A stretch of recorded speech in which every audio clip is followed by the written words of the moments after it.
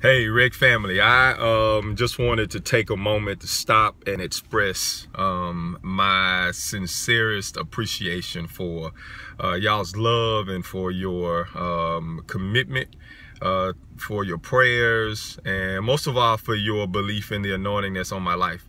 Uh, I don't think I could ever express to you how good it feels to know that uh, there's a group of people who uh, believe in the things of God and understand the call of God that's on my life.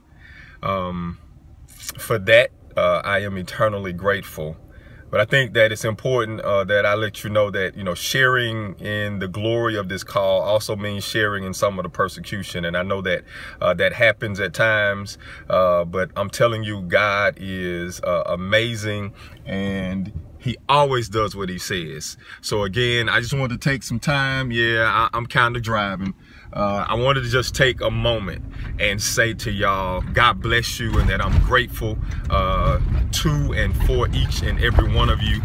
Um, and then finally, let me tell you, tonight, uh, I'm starting a new series on the kingdom uh, where I'll be rolling these uh, gifts that we've been talking about, how those things play out in the kingdom, what they look like.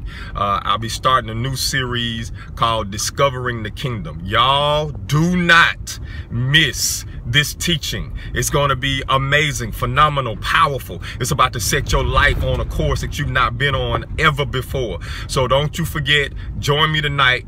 630 Relevant Empowerment Church. We are going in. There's going to be dynamic teaching.